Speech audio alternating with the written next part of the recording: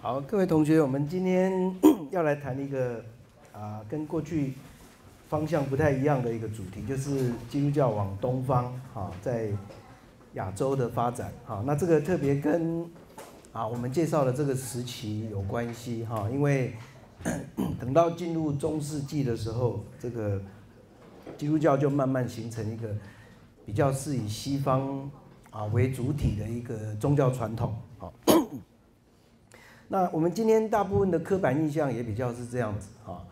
啊，就是把基督教看成是一个比较是西方的西方的宗教啊，西方的这样的一个一个啊一个宗教传统。那事实上，在我们所介绍的这个最初的这五百五百年啊，至少到到第七第六第七世纪的这个过程当中，事实上基督教在三大洲的发展。啊，几乎是同样重要的啊，在亚洲、在非洲跟在欧洲啊，是同样的有啊各自不同的啊这个成长跟发展。那事实上就人数来讲啊，就人数来讲啊，在北非洲的基督教传统，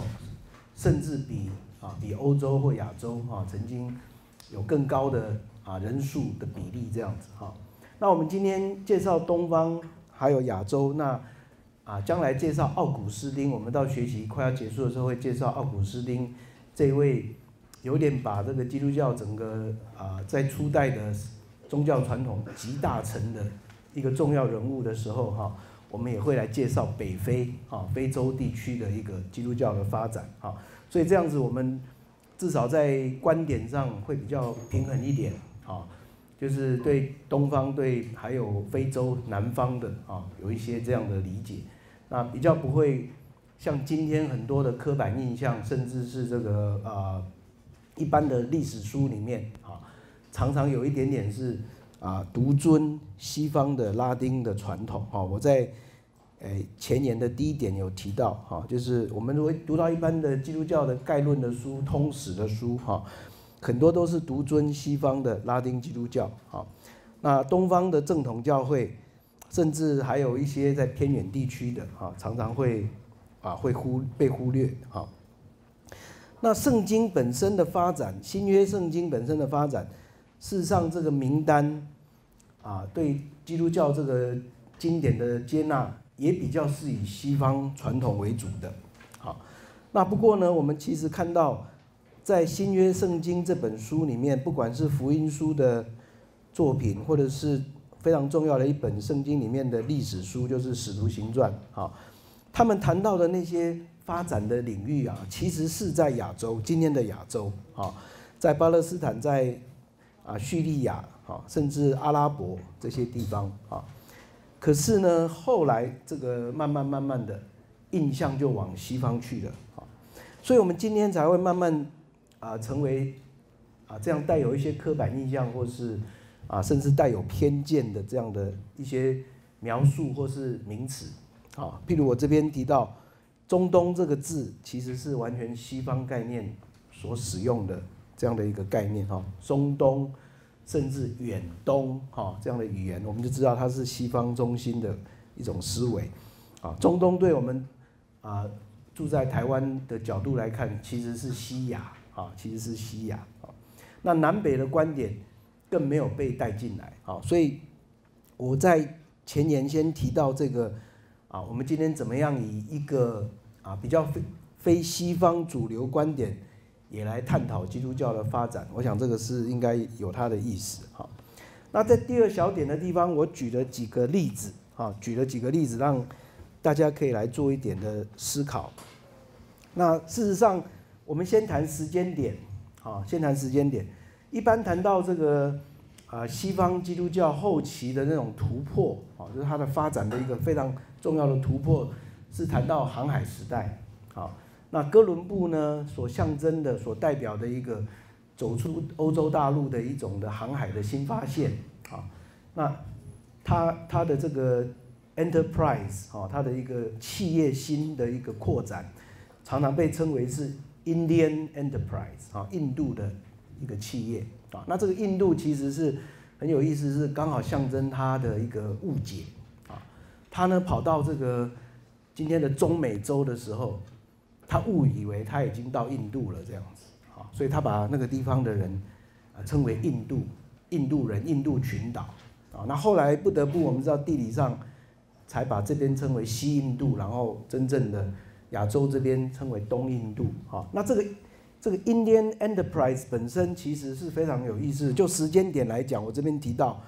跟后来的。这个达伽马啊，达伽马，达伽马是一个啊，这个葡萄牙出生的啊，这个探险家啊。那他发现印度的时间，我们如果把两个时间点拿来看，其实只有差六年。好，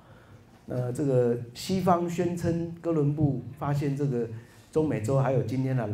啊拉丁美洲啊，拉丁美洲这个名字当然也是跟西方教会的概念连在一起的。好，那这样的一个。觉得这个哥伦布发现这个新大陆，所谓新大陆啊，这个是一个重要的突破。但是达伽马其实在同同样的那十年当中，他已经来到印度了。好，在印度有也有相当啊突破，在贸贸易上啊，在他所要达到的目的，要找香料啦，发掘新的这些啊重要的素材啊，哈，有相当大的突破。好。那时间点不但像，其实还可以做一点点的联想，好，就是哥伦布的印度企业，如果你跟达伽马的印另外一个印度企业比起来的话，其实哥伦布的印度企业造成对在地的这种挫伤啊，我们今天有时候有的人用用这个 traumatic 啊，这种创伤啊，这心理学上说的 trauma 啊。那种心灵的创伤，对这个拉丁美洲来讲，这个哥伦布引进来的这样的一个啊，带着帝国主义的殖民主义的一个一个势力，当然背后有宗教的的那种力量在里面。对拉丁美洲来讲，是一个非常大的创伤啊。学者指出，这个啊，在哥伦布到这个拉丁美洲之后七十年内。啊，七十年内，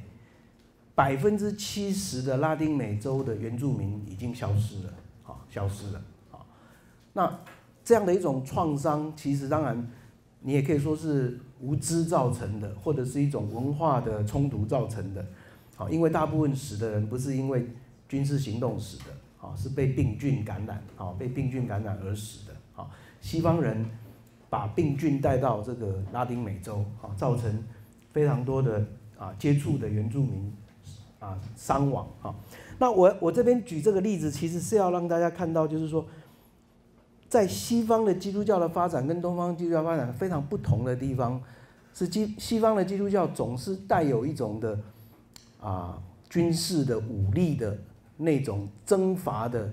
文化的感受在里面，好给给人的一种感觉好。那换句话说，当西方的基督教成为主流的啊，成为主流了。它带有非常强大的政经军事的力量的时候，它所到之处造成的一种的啊一种最在地的冲击也好，或是甚至是伤害也好，反而是更大的啊。那反而你比起来的话，东方反而比较没有这样的一种现象啊。像达伽马我们看到的啊，它其实啊这个它的路线也很特别，是它。绕过了非洲南边，哈，然后从这个啊好望角，啊绕了一圈上来，然后到达这个印度，哈，这个其实是已经是一个跨越当年这个地中海为中心的航海的一种概念了，哈，它已经是绕过南边，哈，绕过南边啊来来做这样的一个发展，哈，所以我我用这两个做例子比较，其实让大家思考，一个是时间点来讲，哎，很像，哈。东西方在很多的发新发展、新突破上，时间点是很像的。但另一方面，你又发现那种文化冲击性不太一样。好，那我们上一次开学没有多久，给大家看过一个那个 BBC 的影片，在谈基督教往东方发展的时候，等一下我们啊要看最后一小段哈，我们上次有最后小段还没有看，跟我们今天主题有关，就是这个这个基督教的力量最后推到推到远东，所谓的远东的地方这样子啊。那但那之前呢，在那里面就已经提到一个很有趣的概念，说基督教在东方比较不是以一种强势的宗教的形式出现啊，不是以一种强势宗教啊。今天这个强势宗教这个语言已经变成是一个被讨论的。好，那强势宗教 （strong religion） 啊，强势宗教一直是宗教结合，往往结合政治经济的力量或甚至军事的力量啊，那去。带来对对这个啊其他地方的一种的冲击啊，那东方的基督教发展比较不是这样子的啊，它常常是借着商人啊，借着一些知识分子啊，然后它总是以少数人少数人的方式在那个大的主流社会里面生存啊，所以在那那样的一种夹缝中生存的一种东方基督教或东方教会，他们采取的手段。常常是一种协商式的啊，商人会去协商出一个空间，是一种妥协式的，通过对话的啊，然后为这个基督教的团体找到一些生存的空间啊。那知识分子则是借助他们具有的专业能力啊，去争取到一些他们可以。表现的可以在社会里面受到尊重的方式，好，所以这样的一种的不同，我们觉得我们就可以看到是东西方是有一个可以拿来做对比跟讨论的，好。那另外一个很有趣的年代，在我第二小点里面提到的，哈，就是这个西方非常重要的一个啊一个突破，就是啊教宗大归勾利在第七世纪的时候派了一位。宣教师也是他在修道院的时候的同学啊，这个啊奥古斯丁，这个奥古斯丁跟我们这学期结束要介绍的那个神学家奥古斯丁是不同的人哈，所以这两位奥古斯丁，我们通常都用他们工后来工作的地名来区别他们啊。那这位奥古斯丁被称为 Augustine of Canterbury 啊，坎特伯里的奥古斯丁啊。那换句话说。他就是英国第一位被封为坎特伯里大主教的啊，这个主教的这个奥古斯丁是一位宣教师啊。那另外那位奥古斯丁，我们将来介绍的，他是在北非北非迦太基的地方成为主教啊。那他一般我们称他是 Augustine of Hippo 啊，他是在西坡这个地区担任主教啊。那这个是非常重要的一个突破，就是。基督教从欧陆延伸到了英伦三岛啊，今天的大不列颠的地方啊，那这个是一个对对这个拉丁基督教来讲常常觉得很重要的发展。那但是我们上次影片其实也有提到哈，虽然这个奥古斯丁啊带着这个基督教去到英国，但英国其实之前就已经有基督教的的这种啊这个种子在那边了，好的。奥古斯丁后来去，只是强化了整个英国基督教的快速发展。好，那这这个年代，我觉得也很有意思，是我们拿来跟今天要介绍的比较的时候，就很有趣了哈。因为这个坎特伯里大主教奥古斯丁他过世的时候是六百零四年，好，他五百五百五百七十年八十年左右，他就已经去到英国。在那边工作了二三十年，哎，他在六百零四年过世。好，他过世的时候呢，刚好我们看到今天我们要介绍的东方的基督教，这个聂斯多流教派，后来到中国被称为景教的，啊，他们已经在这个时候进入了中国。好，所以东西方一做比较，一个是欧洲的基督教传到大英大英帝国，哈，大不列颠，那在西。东方的方向呢，它其实远到另外一个啊，这个当时候啊远远东的中国，好，所以这样的一种时间点的对比的时候，我们就可以看到说，西方跟东方有一些很可以拿来作为平行思考的地方，好，那后来到第八世纪的时候，在欧洲最重要的一波宣教工作就是等到日耳曼蛮族。啊，我们西方史上称的这个日耳曼的蛮族。啊，那称他们是蛮族野蛮人。哈，barbarian。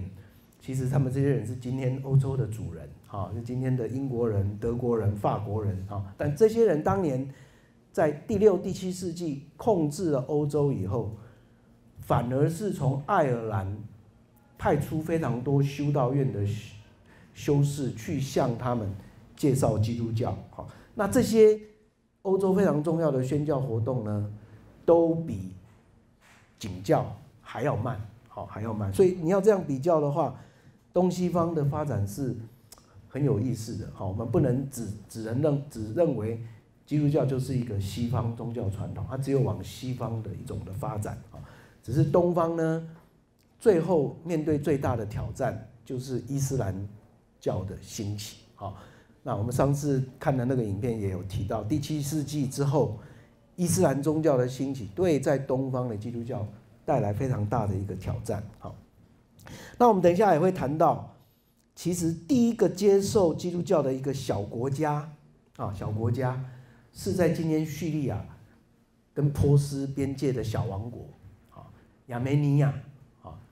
啊，那阿尔贝尼亚，这些都是小小的王国，他们接受基督教其实比君士坦丁大帝三百一十三年接受这个在西方接受基督教时间还早啊，早一个世纪，所以这这些对比我们都可以看到啊，让在东方基督教发展本身啊，可以有它特别的一种独特的地位，好。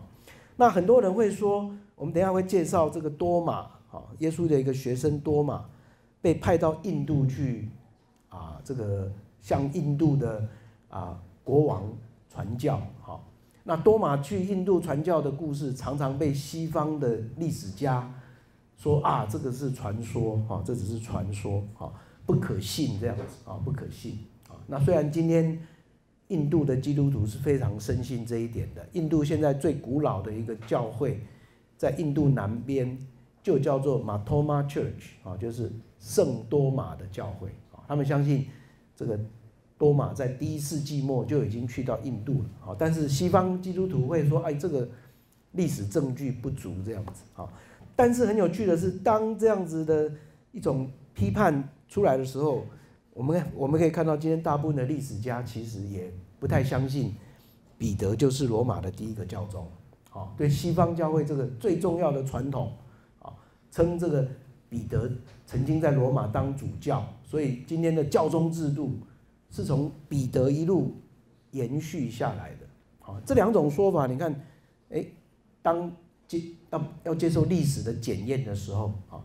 其实都有它的的挑战性，好，所以这样来说的话，哎，多马到印度去的传说也是可以被赋予一个比较啊有意义的一个角度来看。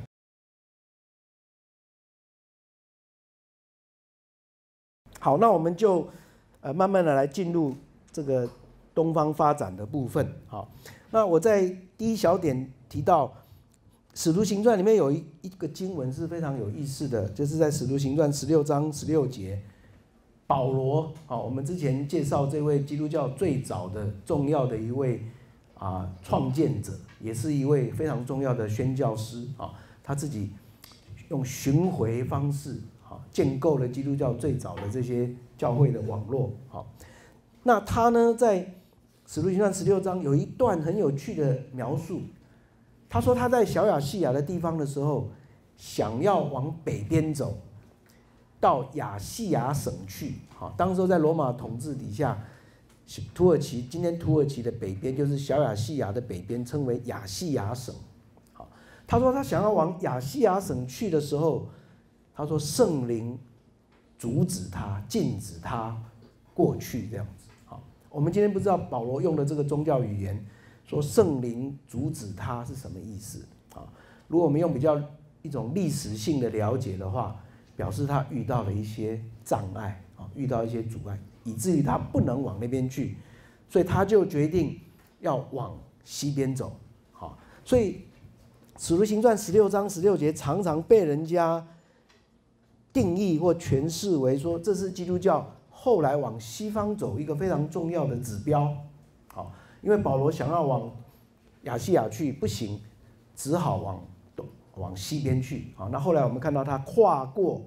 欧亚边界，他就进入欧洲。好，进入欧洲，先在希腊半岛，接着到意大利半岛，甚至最后他有可能去到西班牙。啊，我们不知道，但是他很想要去到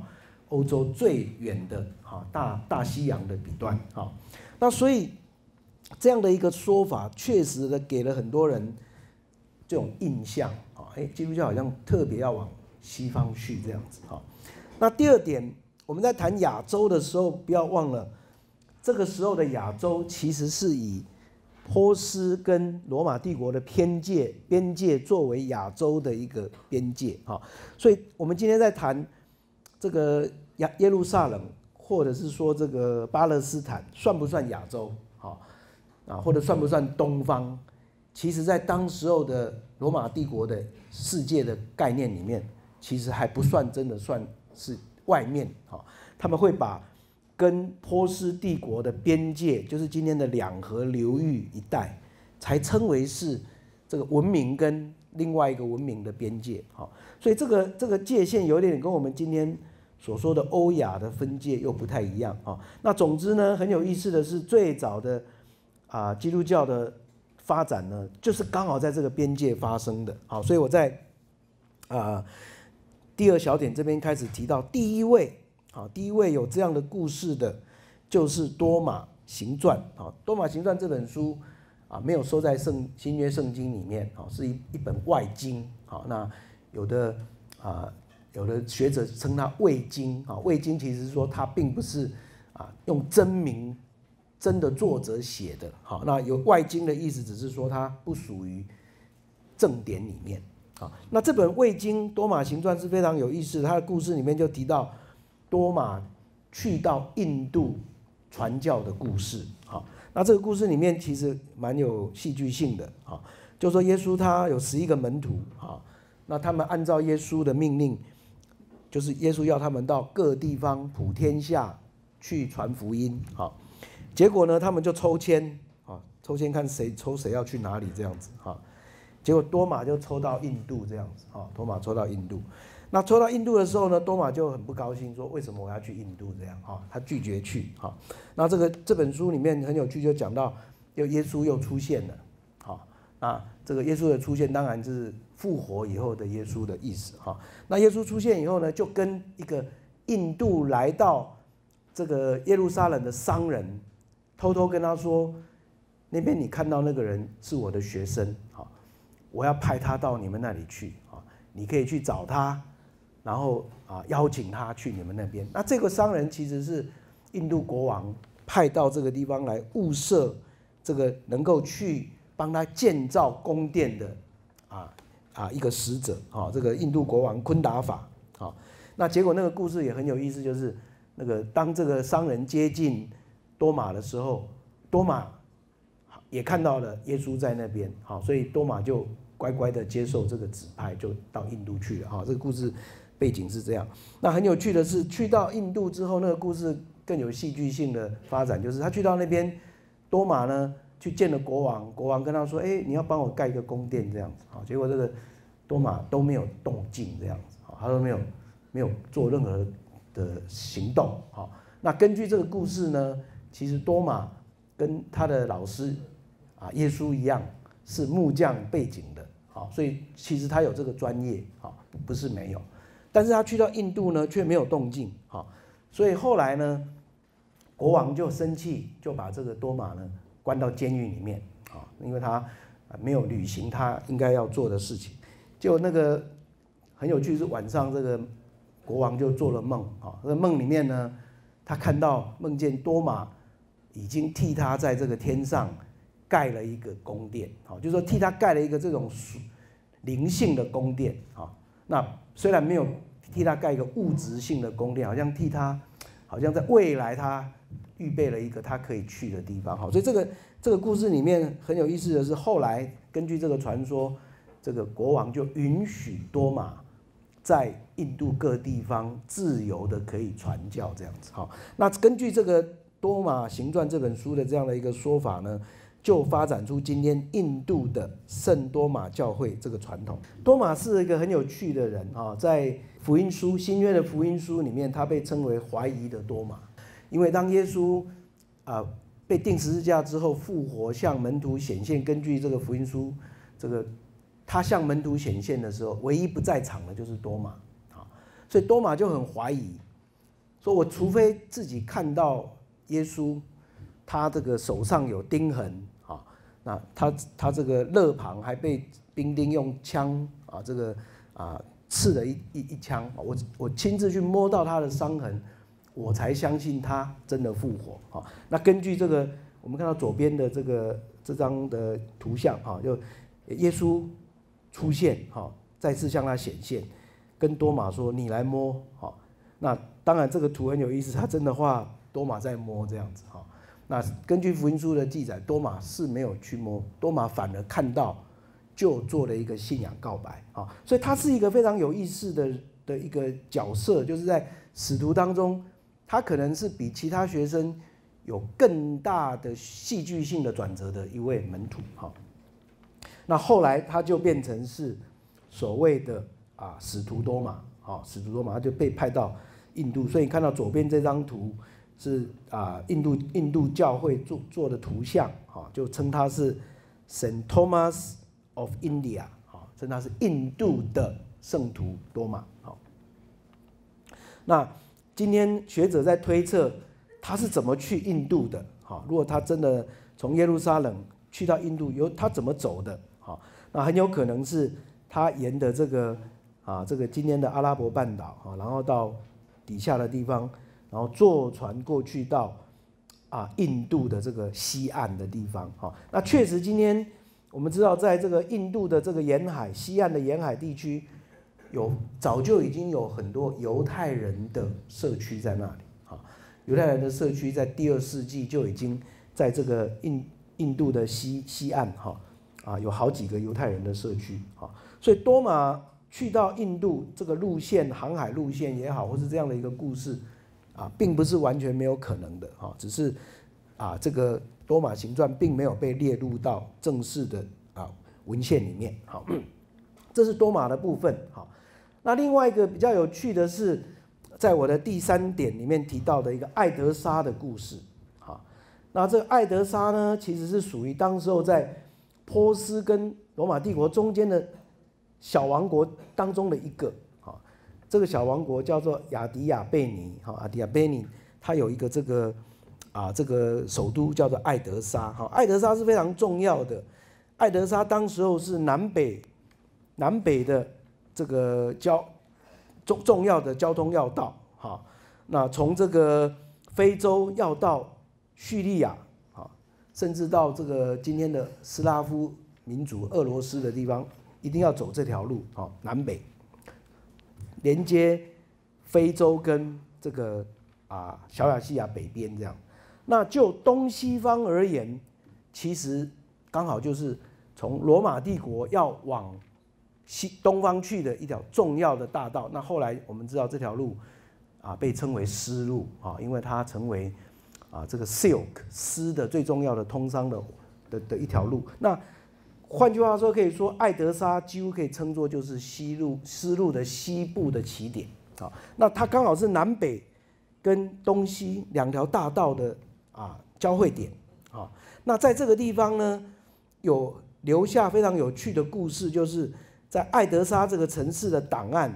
啊，有这个一个故事，就是这个阿布贾王的故事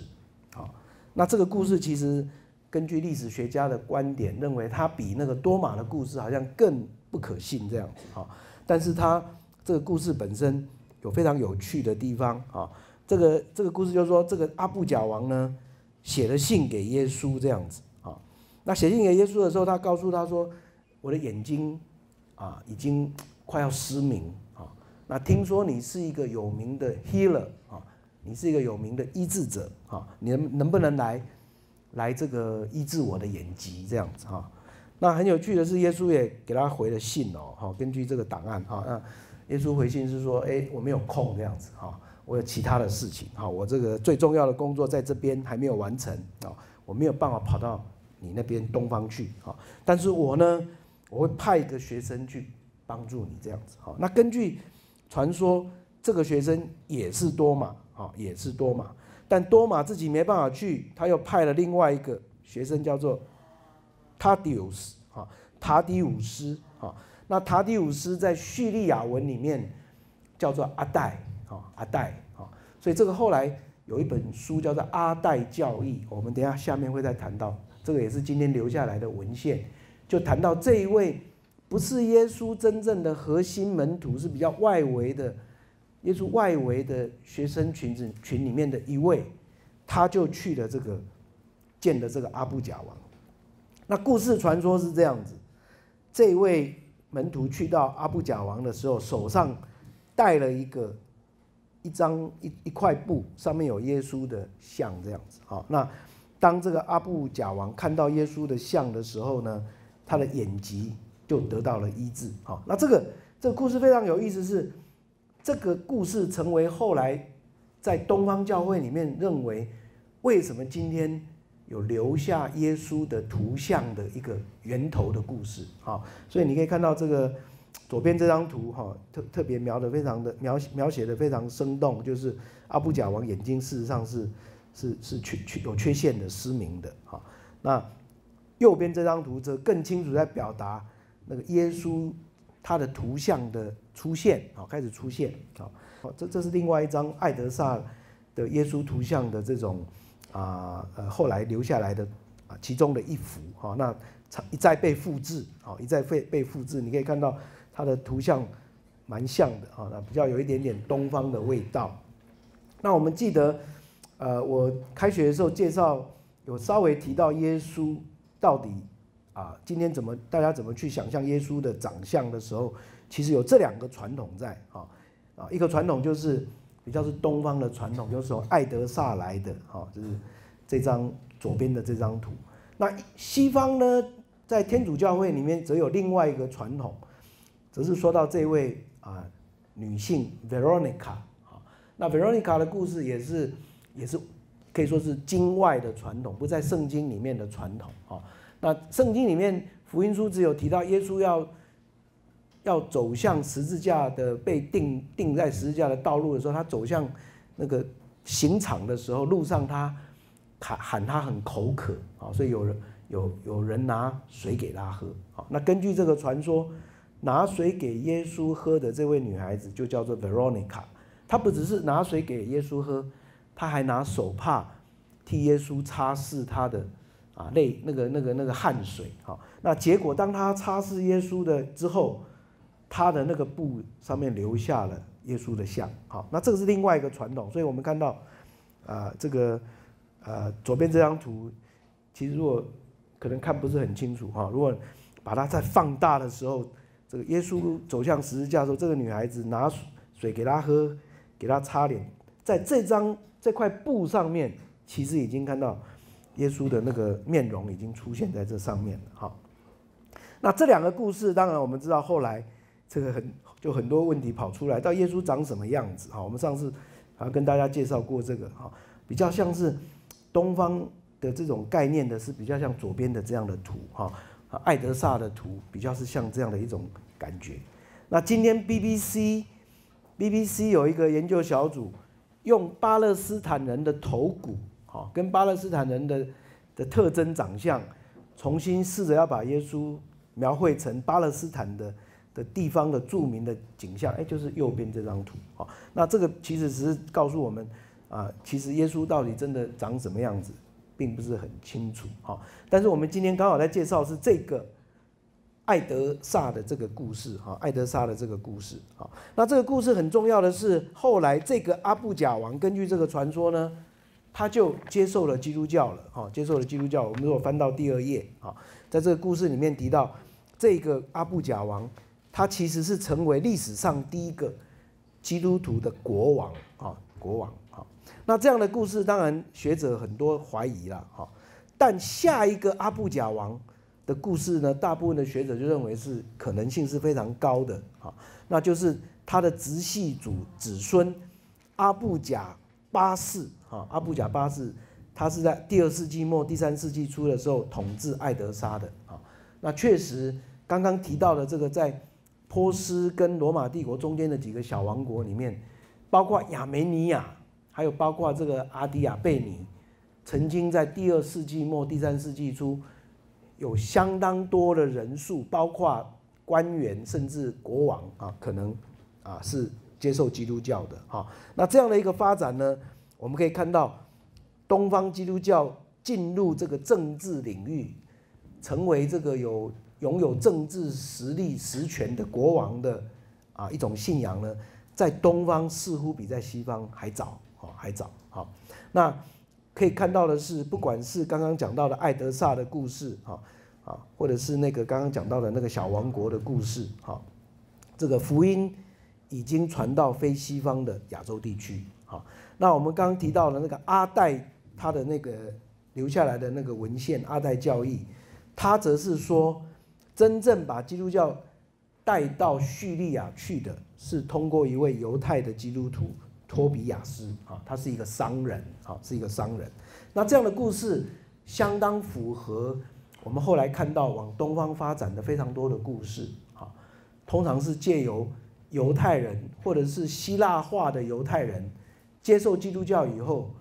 那借着商业贸易的路线往东方传到这个亚洲来的。好，好，那我们再往下走。如果第一波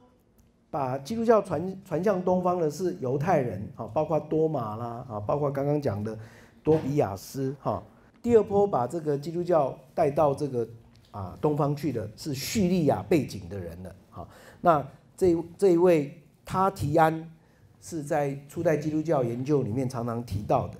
他的老师是非常有名的殉道者尤斯丁。啊，那尤斯丁其实是初代教初代基督教里面非常重要的护教家。啊，他为了要为基督教辩护，用希腊文写作了好几本护教书。啊，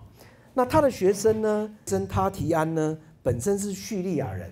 啊，那他觉得真的要名副其实的啊，让基督教在他的这个文化跟族群里面生根。他主张用叙利亚文来成为研究基督教的语言，好，那这个是这是其实非常有意思的一种啊身份认同的问题。好，在西方慢慢的基督教从希腊文最后转成拉丁文。拉丁文后来成为西方基督教最主流的语言，也是一种的啊，用语我们说用一种语言作为认同来讲的话，它其实变成是基督教最重要的语语境啊，用拉丁文写作成为一种的主流啊。但是我们看到在第三世、第二世纪到第三世纪当中，像他提安这样的人，他就开始使用叙利亚文来为这个基督教写作。啊，他自己认为自己是亚洲人，他甚至认为许多的希腊文明都是从两河流域、小亚细亚再传过去的。希腊人当他们希腊人的几个小城邦，当他们到东方来殖民的时候，其实从东方的这些文化学习到很多的啊文明跟宗教传统，再带回到啊西方去这样子。这是他的一个很有趣的看法。那他也写了第一本的《耶稣传》，好，那这《耶稣传》啊，其实并不是他自己创作的，他就是把新约圣经的四本福音书把它融合在一起，啊，所以这本书有人就把它叫做福音合参，好，就是把把四本福音书里面完全一样的完完全一样的部分重叠在一起，把不一样的地方把它掺杂进去。让它融合在一起，哈，那变成一本好像是一本整合过的《耶稣传》，哈，《耶稣传》这可以可以说是非常有趣的一个做法，啊，那他的这个这本书呢，我们看到最早就是用叙利亚文写作的，啊，我中间这张图是啊他的叙利亚文抄本的一个图，哈，所以我们看到有一段时间，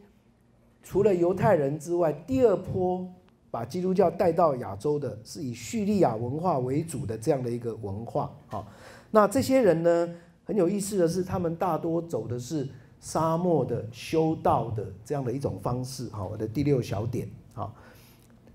第六小点里面提到，这些人他们都走的是隐修的方法，啊，他们在沙漠在洞穴里面用一种苦修的方法，好，这些里面当中好几位后来被称为东方的沙漠教父，啊，沙漠教父，因为他们都是在沙漠当中。这个啊，用灵修、隐修的方式啊，那他们所以他们留下来的作品并不多啊，比较是以行动的方式啊。那一位历史学家 Murray 就形容说，他们其实是最像耶稣的形象的人。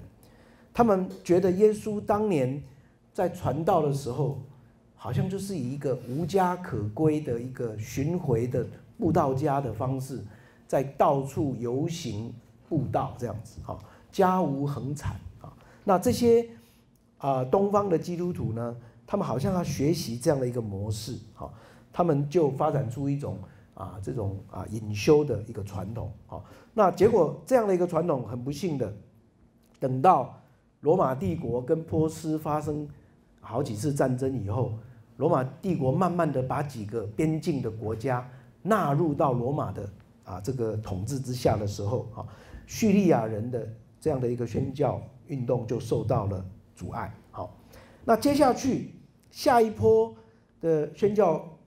工作是由波斯人开始的。啊，所以你看它一一层一层的往外延延展哦。最早是啊这些所谓的到外地去啊贸易的犹太人，接着到叙利亚人，下一波则是波斯人。好，那波斯人呢，是因为跟罗马帝国跟波斯这两边的一个战争啊敌视，加上后来等到基督教啊大量的在诶大规模的在被这个罗马帝国迫害的时候，继续就把这些啊学派往东方推这样子哈，所以我们看到第七小点，波斯人当中一个非常有名的学校就是这个尼西比学校哈，School of Nisibis，他们其实是波斯人开始的。最早在爱德莎的学院，慢慢慢慢，后来推推推推推，就推到这个往更东方去了。好，那这样的一个这样的一个啊修道院也好，或是一个学校，后来就开展出了比较以波斯文化为认同的这样的一个新的传统。好，那我这边在第七点提到说，这个啊后来呢，经过一次一场的神学争论。在东方跟西方，慢慢对基督身上拥有的两种人性跟神性的关系，发展出两个不同的传统。好，那这个这个神学论争有点复杂，但是我们记得上次啊，这个看的那个 BBC 影片里面，这个啊主持人他用一个非常简单的方法在给我们形容这样的两种看法。啊，一一个是他把油加到水里面，那油浮在水上面，形成一个杯子，里面你看到下面是水，上面是油这样的一个情景，这就是所谓的东方教会的概念，也是这个聂斯多流派的概念，主张耶稣在耶稣身上，他同时拥有人性，也拥有神性。那这个人性跟神性呢是没有混合的啊，它是以一个一种各自独独自存在的方式存在的。那你还记得他用另外一个方法来比喻西方的基督教的看法？他就是把啊这个红酒倒到水里面去，啊把红酒倒到水里面去，那红酒跟水呢就啊融合在一起了，整杯看起来是比较淡的红色这样子啊。那在西方的教会，特别是北非的埃及的这个教会传统，主张在耶稣基督身上。神性事实上已经把耶稣的人性怎样，把它吸收到它里面去了。好，所以根据这两两派的说法，其实他们的争议点在于，对耶稣身上到底是神性已经宰主宰了他的人性，还是神性跟人性同时在耶稣身上是独立运作的？好，那对东方的基督徒来讲，保有耶稣的人性的完整性是非常重要的。他们相信耶稣如果不是一个从出生到他死都是一个完整的人性的话，那耶稣今天来到这个世界，啊，这个成为人这件事情就不完整。好，他们很害怕西方教会的说法会过度让耶稣的人性失去他的一种的功能跟意义。啊，耶稣如果在世界上就是一个神性在做主的表现，那他后来为人被钉在十字架上，这意义到底多大？这样子，好。所以很有意思的是，我们看到在第七、第八点，我这边提到的，啊，东方的波斯的基督教的发展，事实上是跟着这样的一场神学论争，关于基督的论争是有关的。好，那我们看到这个啊，到第三波运动的时候，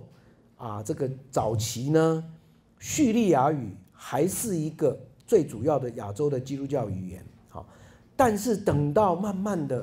两边的政治局势改变以后，第八点我这边提到，罗马帝国开始这个接受基督教为国教以后，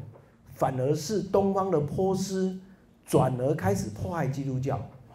这是一个非常有趣的消长关系。当罗马帝国在迫害基督教的时候，基督徒会跑到东方去，躲在波波斯边境或是波斯帝国里面比较安全啊，但相对的。等罗马帝国接受基督教为合法宗教以后，波斯帝国反而改变政策，开始迫害基督徒。啊，所以第八点这边提到，在波斯里面啊，被迫害的基督徒人数也相当的多。哈，那东方基督徒很像非洲的基督徒，很踊跃的采取一种殉道的这样的态度。哈。这点也是我们看到很有趣，在东方的基督教跟在南方基督教，都比较是一种一种啊非常强烈的情感性的表现方式。好，好，那第九点就是我刚刚讲到的这个论争了。哈，那个论争在第五世纪末的时候，西方的基督教提出加克敦的一个一个开了一个加克敦的会议，提出了一个加克敦的教条，在这个基加克敦教条里面就提到我刚讲到的，反对把耶稣人性跟人神性过度分离这样子，好，过度分离，好，那这样的一个运动呢，导致聂斯多流派就是比较主张耶稣的人性跟神性要区隔的这一派，就被判为是有问题的，那他们呢就慢慢慢慢的往东方走了，好，往东方走了。所以，我们看到这个这样的一个波斯的运动呢，就越离越离西方越远，一直往东方推进。好，那到第十点，我们看到他身上有两个认同同时结合在一起了，一个是文化的认同，一个是在宗教自己的立场上的认同。好，我们看到基督教传到波斯以后，被西方排斥，所以政治上开始认同波斯。神学上呢，则比较变成是聂斯多流派，好，就是我刚讲的主张这个基督的人性跟神性是比较分开的这样的一个思想，好，那反对埃及的亚历山大学派，啊，埃及的亚拉亚历山大学派要强调耶稣神性跟人性要比较是结合在一起，好，那这样的一个兼有政治跟神学意涵的新的身份认同，就让。波斯宗教采取一个很清楚的立场，说我们是一个东方的基督教，跟西方的基督教是完全不同的。好，在文化认同上是文化认同跟政治认同上是波斯认同的，在神学上采取聂斯多流派。好，那相对于西方走向的是拉丁文化的认同、罗马的认同，但神学上走的是。基督跟基督的人性跟神性是结合的这样的一个神学，好，那这样的一个神学呢，在北非走的更极端的，就变成是我在这个讲义第九点讲的这个基督一性说这个学派，啊，基督一性说就是说基督呢的神性跟人性呢后来合起来了，基督只剩一个性，不是两个啊，不是神性跟人性分开的，而是两个合成一个。整合的那那个整合的的的那个性呢，要称什么啊？他们用 divine human，就说是神人结合的一个一个特质，这样。啊。那这个很清楚，你看东西方就采取了不同的立场跟不不同的神学传统啊。那这样的一个教会呢，他开始就决定要往东方发展。我们刚刚介绍第一波是比较是犹太人，再来第二波是叙利亚人。那叙利亚人就留下了我们刚刚看到的。一个很重要的一个传统，就是使用叙利亚文作为东方基督教最主要的一个语言啊。那就像西方基督教后来是以拉丁文为主要的啊，那东在东方呢，则是叙利亚文成为最重要的。事实上，今天啊，基基督教的新约圣经所拥有的叙利亚的抄本啊，还是非常的多，而且非常重要啊。很多研究基督教的学者啊，那真的要研究那个新约的那种非常 深的啊这种差异性的学者，他如果不懂叙利亚文，他就不能去用那些现在啊还存在的很多叙利亚文的抄本啊，所以这个是一个我们可能呃从一个西方基督教的观点可能会去比较会去忽略的地方啊。那这样的一个叙利亚的传统呢？慢慢慢慢的，我们刚刚提到，它转化成为是以波斯人的身份认同为主的一个宗教传统。好，我们刚刚介绍到第十点。好，所以这样的一个 宗教传统，使用叙利亚文，但政治认同是波斯的。那神学上呢，他又采取了一个跟啊西方稍微不一样的，比较偏向把耶稣的神性跟人性维持一一种。比较是分分隔的这样的一种的强调的一个神学传统啊，那这个传统在基督教历史上被称为聂斯多流派啊，那聂斯多流派主要就是啊这个领导者就是这位神学家聂斯多流啊，那聂斯多流我我们刚有提到他，他有两个最重要跟跟啊后来的正统正统基督教或者是西方的基督教。或者是跟埃及的啊的的那个基督教传统有冲突的地方，一个我们刚刚提到了，他把这个耶稣的神性跟人性做了一个比较强的一种的区隔。另外一个是上一次我们在介绍啊妇女的时候，我们有提到玛利亚，玛利亚学的发展。好，那这另外一个很有趣的地方是，埃及的基督教在亚历山大的埃及基督教，他们喜欢。把玛利亚高举，称她是上帝之母啊，上帝之母。我们上次有提到啊，那对聂斯多流来讲，如果耶稣的人性是那么重要的，玛利亚最多只能可以称为是基督之母，而不可以被啊称为是上帝之母啊。所以在这这个地方，你可以看到东西方很明显的啊，在这样的观念上有所不同好。那这样的一个聂斯多流的基督教，我们看到他就啊，因为政治局势的改变，他就开始往东方发展。好，所以我们啊翻到第三页，他们开始沿着丝路，随着这些商人哈，那经过了西伯利亚大草原，经过中亚匈奴人啊，一路到达这个丝路尽头的中国的长安城。啊，在唐朝的时候，啊，那在十二点我们谈到这这个这一位宣教师叫做阿罗本，啊，在六百三十五年左右，他加入了中国的骆驼商队，啊，那经过长途的旅行，到达长安，成为第一个抵达中国的基督教团体，啊，那在当地，他们找到了在地的一些宗教的学者，邀请他们协助帮忙翻译。这个圣经啊，要将叙利亚的叙利亚文的这个宗教语言转化成为在地的中国语言。那当时候因为没有任何的基督徒在地，没有基督徒，所以很有趣的是，他们所找到的宗教学者是带有佛教背景的啊，是带有佛教背景。所以很有趣，你可以看到他们后来的的一些翻译。刚刚影片里面提到，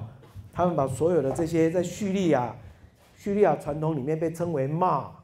啊，“骂”我们记得它原来在亚兰文的传统就是“主”的意思，耶稣也常被称为是“骂”，啊，但“骂”这个字其实后来变成在叙利亚的宗教传统里面就是啊这个神父的意思，或是就是指这些神职人员，啊。那我们刚刚看到的影片里面呢，这个景教的这些最早的翻译者，把“骂”这个字翻成了“生”啊。所以刚看到那个石碑上面很有趣的是，那些最早的每一位啊这些啊宗教的领导者，他们上面都加了“生”这个字，哈，就是就是很很有趣的是，你看到他翻译的一个一个这种文化的脉络是佛教背景的，好。那包括景教这个名字啊，景教这个名字啊，呃，把它称称作是光明的啊，一个光明的宗教啊，这个这个本身也也有这样的一个背景在啊，所以很有趣的是，这个 唐太宗呢，后来不但出钱帮助他们翻译圣经，还帮助他们建了教会啊，那他们建立的教会，我们刚刚影片里面看到一个那种大秦式的一种特殊的一种。建筑方式就是采取佛教的那种 pagoda 啊，pagoda 我们说是一种佛佛塔佛塔的形式，哈，以佛教佛塔的形式，但是加以一点点的这种啊，加以一点点的啊转化，变成是一个啊用柱式长柱形的教堂的形式啊。那呃，刚刚跳，我们刚刚回去看前面的影片里面，我有提到这个。啊，诶，影片里面有提到这位非常重要的叙利亚的圣诗作家，也是叙利亚的诗人啊。那影片里面把它翻作以法以佛冷啊，以佛冷。那一般的历史书有人把它翻作以法莲。那根据刚刚影片里面提到的，今天很多基督教的不同形态的音乐，其实源头可能是从这位 Ephraim 当时候写的诗，然后被谱成。这种带有东方还有西方结合味道的音乐，哈，这个是顺便介绍一下，哈。那我们刚刚提到这个聂斯多流派往东传，啊，那一路长途跋涉，经过丝路，最后到达啊长安，啊，就是在中国传的这个景教。那我们今天留下来有一些很有趣的这些图像，我们看到聂斯多流派在蒙古，还有在一些当时候回族当中。也也有接受了一些啊信徒啊，在那边也成立了教会，他们的主教你可以看到他们的这种啊服装跟啊穿着的形式，其实是非常东方式的。这是另外一张图，提到这个借着丝路北路南路啊，一路传到这个长安哈。那刚刚看到的大秦寺就是这个样子啊，一个 pagoda 的形式哈，一个 pagoda 的形式啊。他开始慢慢发展出自己独特的一些基督教的啊象征，特别在墓碑，好或者是在一些教堂里面的装饰里面，开始出现这样一个非常有趣的，下面是莲花，然后上面是一个啊这种东方的十字架的形式的，哦波斯的，我们有人称它是一种波斯的十字架的形式的，啊啊或者是叙利亚的十字架形式的一个很特殊的一种。融合的形态啊，所以下面是带有这种啊东方的佛教背景的文化，但这个上面长出来的却是一颗新的宗教的形式十字架。刚刚看到的这个大秦景教流行中国碑啊，这个碑文其实只有几百个字啊，其实是一一篇简史啊，是一篇简史，那简单的描述这个景教去到这个。长安在中国啊，这个流行发展的一个简单的历史啊，那这样短短的几百个字，有非常多非常多的学者就投入对这个啊这篇碑文的研究啊。那今天我们大概从从这样的一个研究当中，大致上可以了解当时候的一个啊发展，它确实盛行相当长的一段时间啊，到第九世纪才被。因为禁教才被慢慢的被压制，但根据刚刚的影片的说法，后来到马可波罗去到中国说，哎，还看到说有隐藏的基督徒。那刚刚那个学者 Palmer，他认为因此可以证明这个景教在当时候并没有那么快就消失啊，他还延续了一段时间啊啊，这个这样的碑啊，我们看到在其实，在今天很多的这个考古学挖掘，在中国挖掘出来相当的多哈，啊，这个有一些有一些那个公园里面，他还把挖掘出来的通通放在石碑的一个啊那个室外的啊展场哈，啊，今天出来的出土的文物其实不少哈，那都是带有一种我们刚刚讲的这种融合味道的啊一种的这种啊象征哈。还是看到墓碑啊，它就是下面是有这种啊莲花的象征，上面是波斯的十字架。那刚刚也提到叙利亚文啊，有的还有有的被使用啊。那当然一刚刚看到也有看到叙利亚文跟这个啊汉字啊放在一起的。好，那大概我我们大概简单把这个。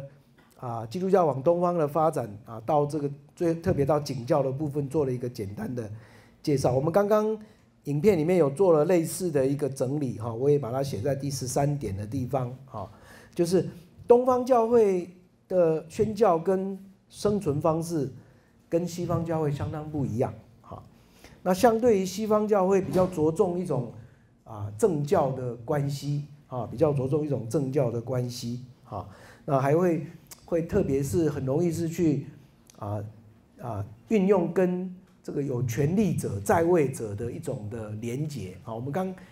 举的那个例子啊，这个大贵沟利教宗派的这个宣教师奥古斯丁去到英国，他就先去找英国的肯特的国王啊，得到肯特国王的接纳之后，他就借着这样的一种政治的特权，他就可以快速的去推展发展啊。后来的欧洲的法兰克人非常有名的这个查理曼大帝也是一样啊。查理曼大帝成为基督徒以后，甚至使用武力去征讨其他的这个族群，那借着这样的一种武力征讨的方式，要求他们转化成为基督徒啊。所以这样的西方的模式呢，很不一样，东方完全很不一样的方法，就是刚刚提到，它比较是以一种商人啊。啊，比较是以一种啊对话、协商、妥协的一种宣教模式。好，那另外呢，早在叙利亚文化里面，很多的基督徒学者，他们很早就投入在把基督教从这个啊希腊文翻译成叙利亚文，甚至翻译成其他的阿拉伯文字这样的一种能力。好，那这些基督教学者后来成为东方。国家很多国家里面的智库，啊，会后来等到伊斯兰教传播的过程当中，伊斯兰教要把他们的可兰经翻译成在地的语言的时候，也会去啊去借用这些基督教学者他们的一种的专业，好，所以我这边提到啊，借着这种知识分子的角色，这些基督徒的知识分子扮演一种跨文化媒介者。这样的一种的微妙角色，也让基督徒在当时候的这种好像伊斯兰教非常强大的优势之下，仍然拥有一种的生存的空间。好，所以商人跟知识分子、专业的智库这样的概念，我想在东方基督教有比较特别的这样的一个情形。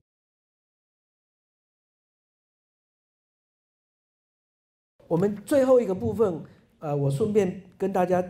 稍微介绍一下东正教的的一些简单的概念，好，那特别介绍一下这个东正教里面他们啊比较特殊的一些宗教特质哈。我们刚好呃上个礼拜有一有有一部分同学有去啊这个啊我们校外教学的时候去参访了啊这个正教会啊他们的聚会哈，那这个就是属于这个传统的哈。那这个这个东方教会跟西方。拉丁教会的分离其实是超过我们这个这个课程的范围哈，因为它是发生在第十一世纪的时候啊，在十一世纪的时候，东西方教会才正式分裂哈。但是，因为我们今天在介绍东方基督教的发展，我们就顺便做一点点的延伸的啊，跟大家做一点点的介绍，特别谈一下他们比较特殊的地方啊。那我在这个。呃，讲义里面提到君士坦丁堡是一个重要的地方啊。那君士坦丁大帝他其实本来定都在罗马，但是因为蛮族在西方跟北边越越来越开始越来越威胁到这个帝国的存在，他觉得既然这个样子，为什么不把首都迁到比较在欧亚边境的地方？所以他就成建了这个君士坦丁堡。哈，那没有想到这个后来成为东方的罗东罗马帝国最重要的首都啊。那今天东正教最重要的一个啊这个堡垒啊，也是在这个君士坦丁堡。好，那我们刚刚谈到这个当时候呢，经过几场的论论争哈，譬如刚刚提到的聂斯多留论争、基督一信说的论争哈，那慢慢的这个东方教会呢，神学反而经过这样的一种争议性分裂，它慢慢的比较没落了，东方教会的势力慢慢没落了，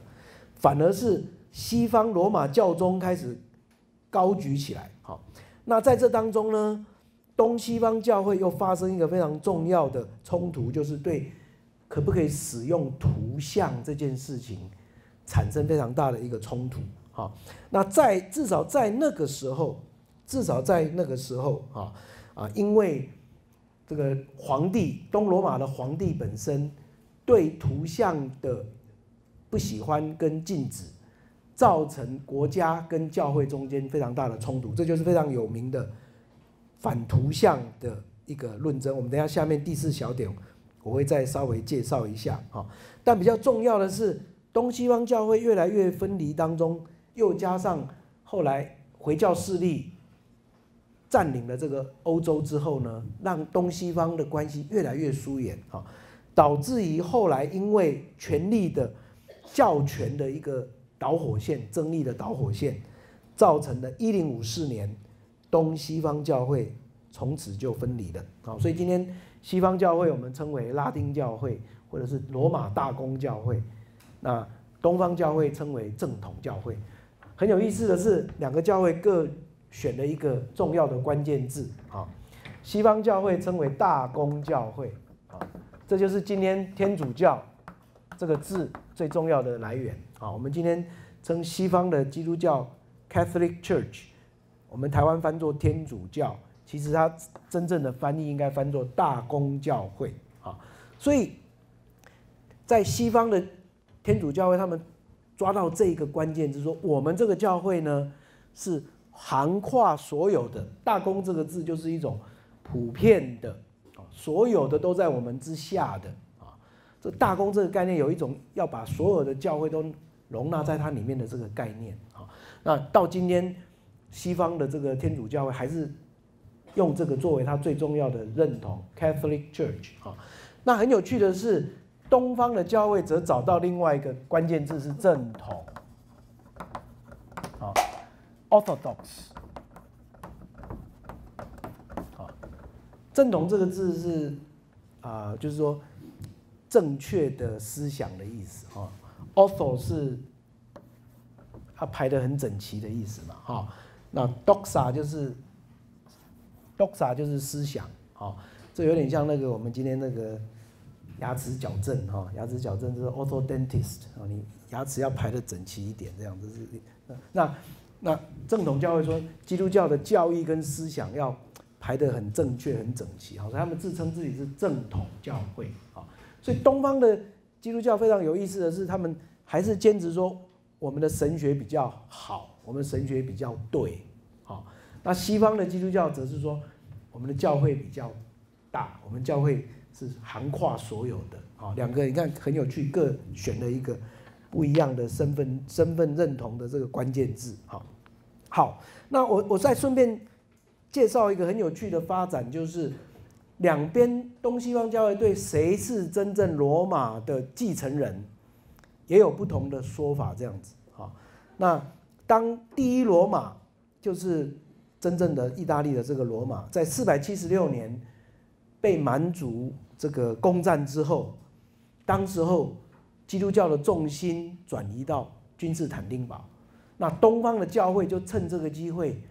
开始宣称君士坦丁堡已经取代了罗马，君士坦丁堡成为所谓的第二罗马啊，所以罗马跟君士坦丁堡一个称第一罗马，一个一个称第二罗马。那西方基督教后来虽然罗马这个城市一直是这个在在这个抢夺当中，但是不久，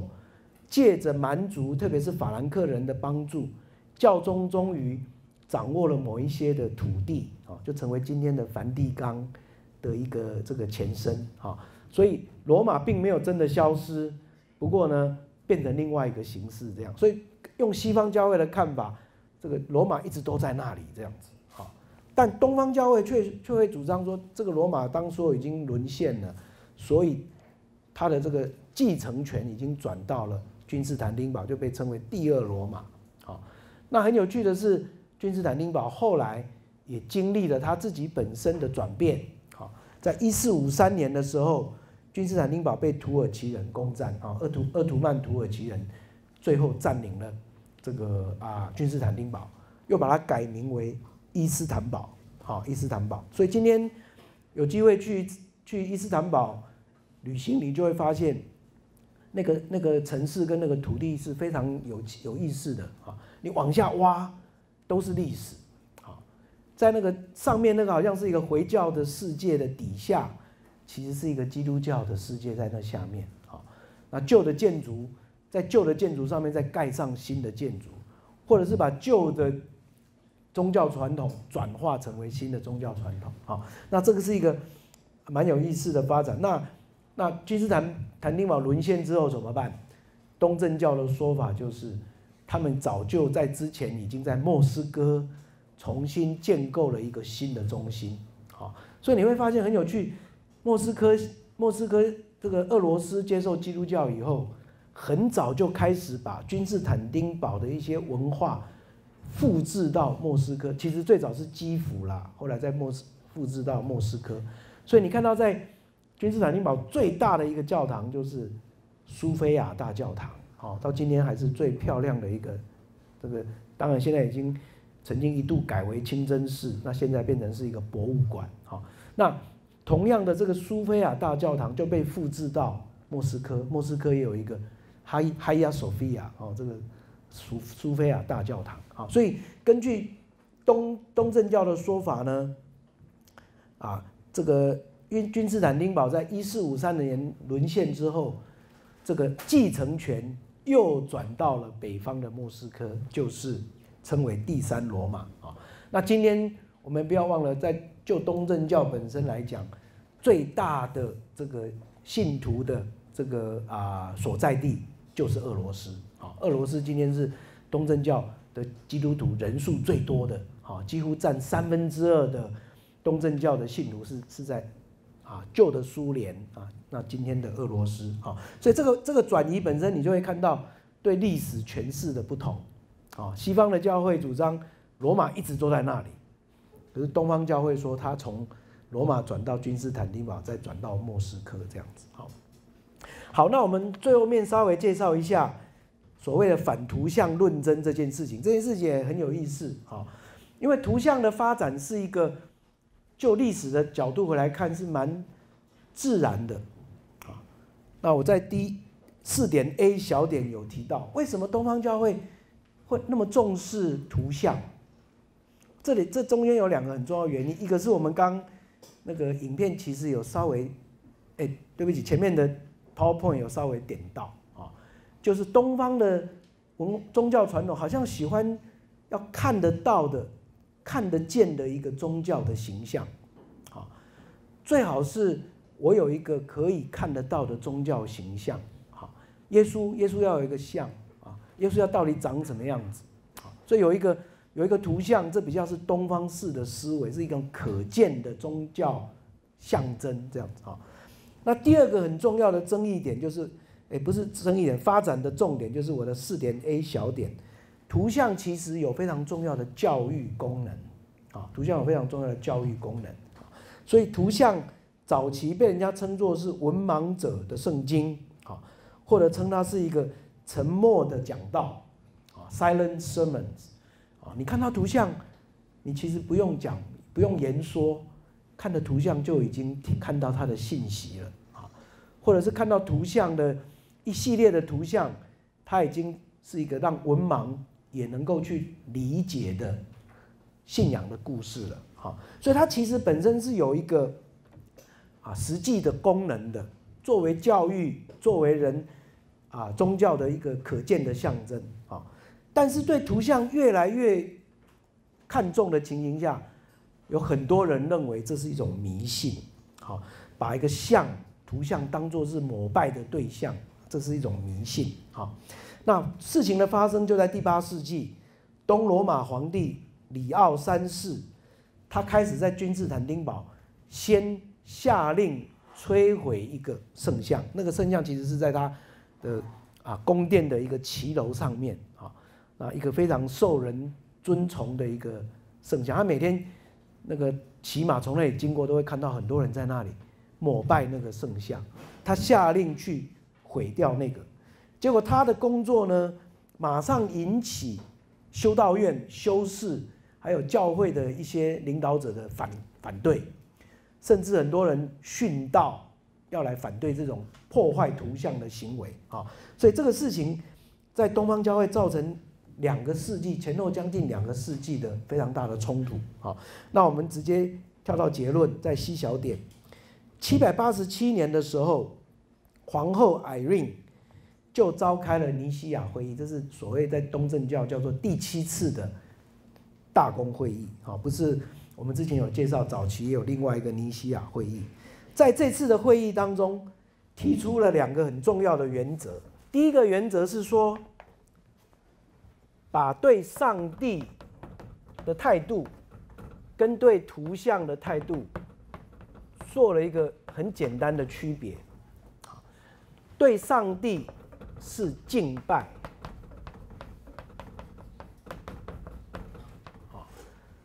对图像呢则是尊崇。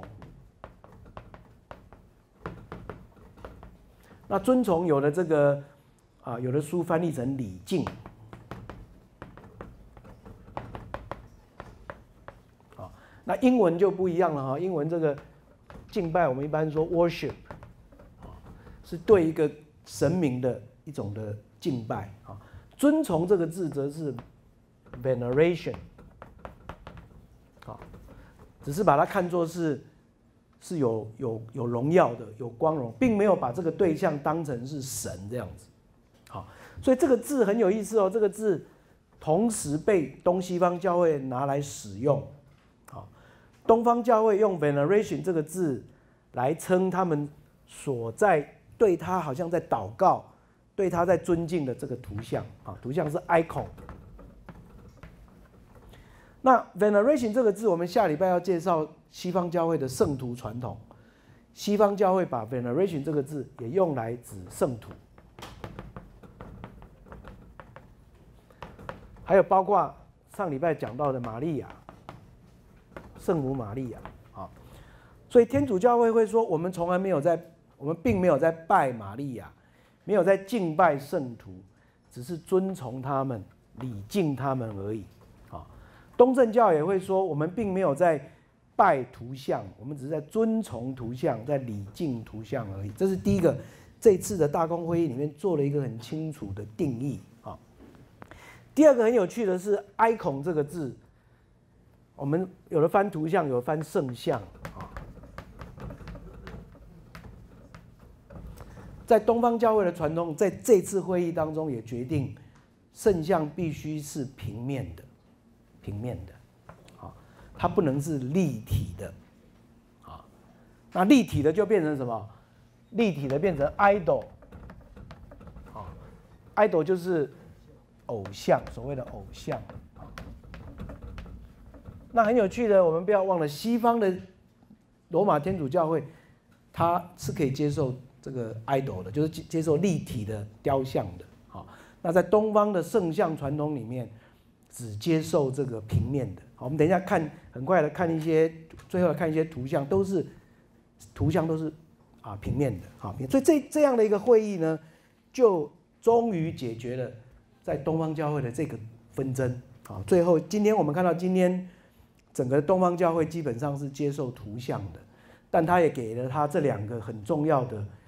定义啊，图像只能遵从，不能敬拜。第二个，图像必须是平面的。那我们到这里，我做一个小结论啊，在这个结论的哎，给大家看图好了哈，这个是这个图像的这个发展。好，在东方教会其实你可以看到他们最早是就是用用这样的马赛克啊在表达。查士丁尼非常有名的，在这个呃 Ravenna 这个地方的一个图像哈，他的皇皇后的图像哈。那东正教的图像你看都是平面的啊，平面的，而且很有意思是。东方的图像基本上不容许太多的改变，你可以看到它几乎那个图像的主题很少有变化。这个 icon 这个 iconographer 好，就是这个绘画的图绘画图像的的这些画家，其实被看作是被被看作是非常重要的宗教领导者，不是随便人可以去画的。他们要画圣像以前，必须要有。进食要祷告要敬拜才可以去画这个像啊，所以画这个像本身就是一个神圣的行动啊。但是一个很重要传统是不能随便做创创意的表现，